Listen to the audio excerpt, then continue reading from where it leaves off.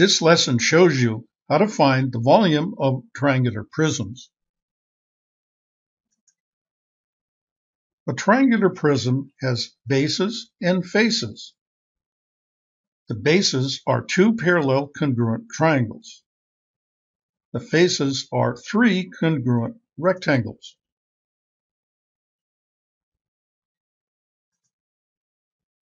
The volume of a triangular prism is given by the formula B times H, where B is the area of the base triangle and H is the height of the prism.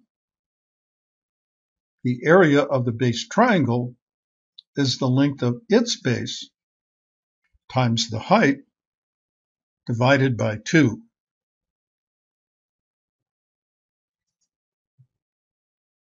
For this example, the base is a right triangle. One of the legs is 10 meters long and the other leg is 8 meters. For a right triangle, one of the legs is the base and the other leg is the height. So the area of the triangular base is 10 times 8 divided by 2, which is 40 square meters.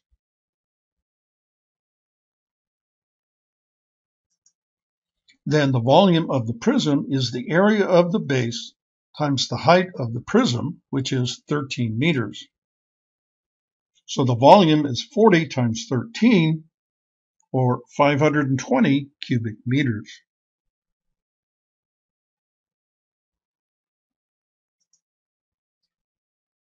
To find missing dimensions, replace the variables in the formula with known values and solve for the missing variable. In this example, you are given the volume of the prism and the width and height of the base triangle. You need to find the height of the prism. Begin by finding the area of the base triangle. Multiply 3 times 4 and divide by 2, which gives 12 divided by 2, or 6 square feet. Then substituting into the formula, you get 36 equals 6h. Divide by 6 and the height of the prism is 6 feet.